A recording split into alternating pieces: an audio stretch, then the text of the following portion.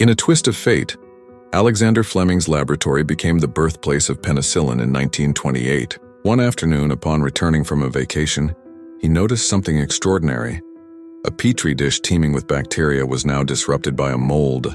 This robust mold, later identified as Penicillium notatum, exuded a mysterious substance that halted bacterial growth. Curiosity sparked. Fleming meticulously investigated this mold's properties.